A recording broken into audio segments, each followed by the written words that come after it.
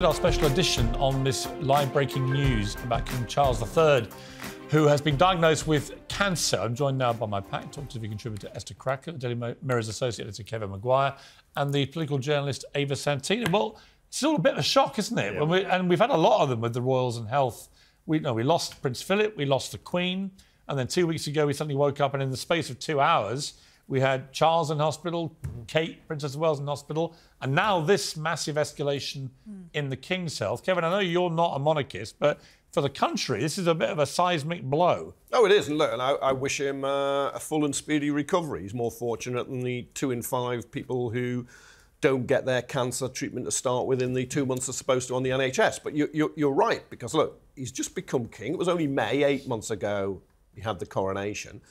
And I, I admire and respect the openness in saying he has a form of cancer, but of course the questions will come.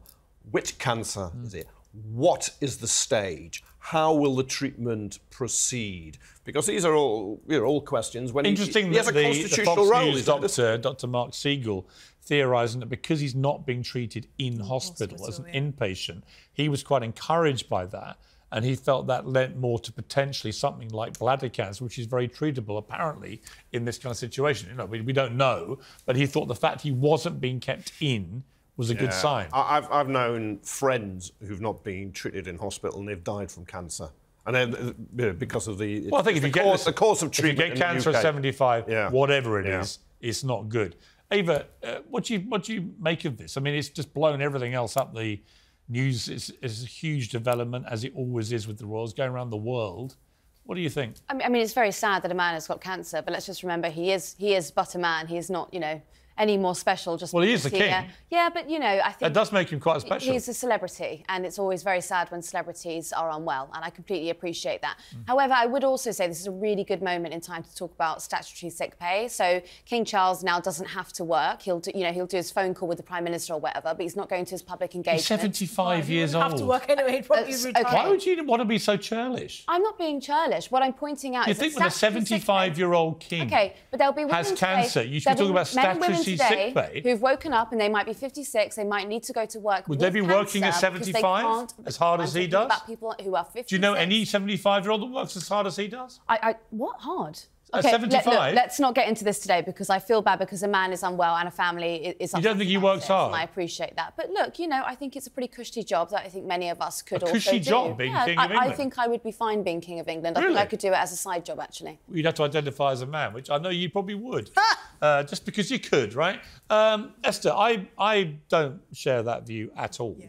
I don't think he has an easy life. I think he's had a very tough few years, actually, losing both his parents and then having a, a coronation to replace the most popular, longest serving monarch in our history. history. Yeah. All very, very tough stuff. He's all the stuff with Harry, eh, eh, you know, disenfranchised from one of his sons. I mean, he's not had this easy at all.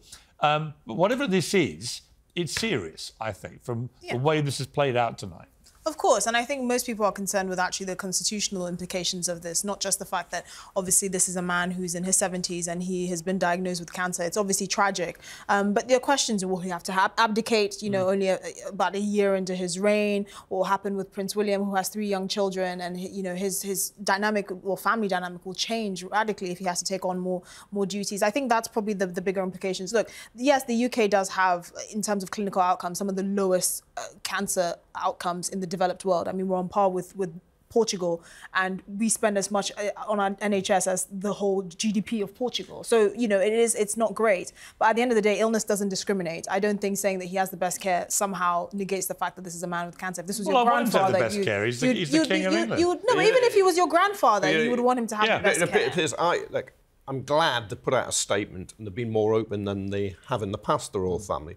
But, but it raises so many questions. They should be answered in public because he is the ultimate public figure.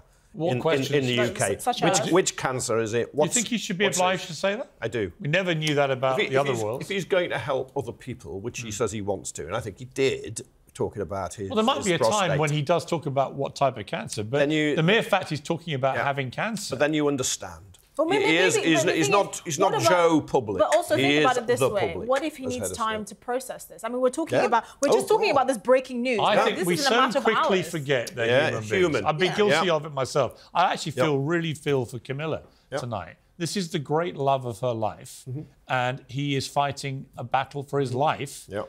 Uh, and she's got to go out and still be the queen, still do all, going to perform all her functional duties. Apparently, uh, he can't do his, but she'll have to do hers. Whilst every night going back to the reality that her husband is is facing this huge battle. You're, you're absolutely right. I've been fortunate. I've never, I've never been diagnosed with cancer, but again, friends, family who are say Terrible. everything stops. Everything stops. Everything stops when you just hear. Uh, uh, Everything I'm, stops. so, I'm it's sorry. a huge moment you for have all cancer. Yeah. And you got William the same with his wife. We don't know what happened with Kate, but it must have been serious. She's For off, two weeks. off for, uh, for months.